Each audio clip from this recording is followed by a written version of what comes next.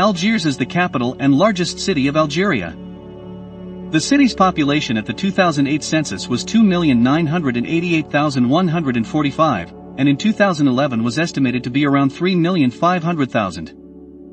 An estimate puts the population of the larger metropolitan city to be around 5 million. Algiers is located on the Mediterranean Sea and in the north-central portion of Algeria. Algiers is situated on the west side of a bay of the Mediterranean Sea.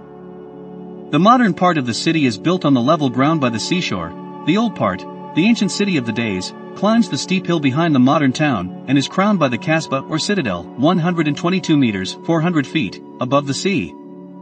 The Kasbah and the two quays form a triangle. The city's name is derived via French and Catalan Alger from the Arabic name Al-Jazir, the islands.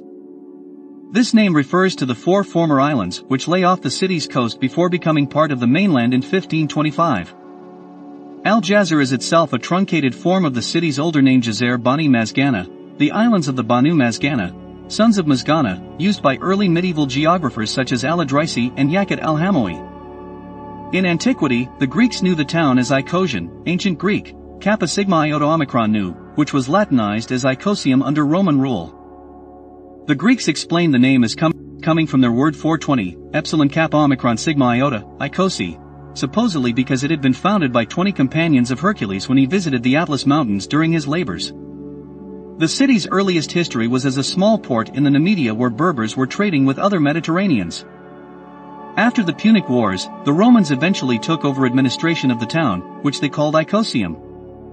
Its ruins now form part of the modern city's marine quarter, with the Rue de la Marine following a former Roman road. Roman cemeteries existed near Bab el Oued and Bab Azoun. The city was given Latin rights by the Emperor Vespasian. The bishops of Icosium are mentioned as late as the 5th century, but the ancient town fell into obscurity during the Muslim conquest of North Africa.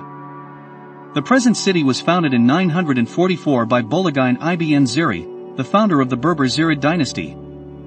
He had earlier, 935, built his own house and a Sanhaja center at Ashur, just south of Algiers. Although his Zirid dynasty was overthrown by Roger II of Sicily in 1148, the Zirids had already lost control of Algiers to their cousins the Hammadids in 1014. The city was wrested from the Hammadids by the Almohads in 1159, and in the 13th century came under the dominion of the Zianid sultans of Tlemcen. Nominally part of the Sultanate of Tlemcen, Algiers had a large measure of independence under Thalaba emirs of its own due to Oran being the chief seaport of the Zianids. The Peñón of Algiers, an islet in front of Algiers harbor, had been occupied by the Spaniards as early as 1302. Thereafter, a considerable amount of trade began to flow between Algiers and Spain. However, Algiers continued to be of comparatively little importance until after the expulsion of the Moors from Spain, many of whom sought asylum in the city.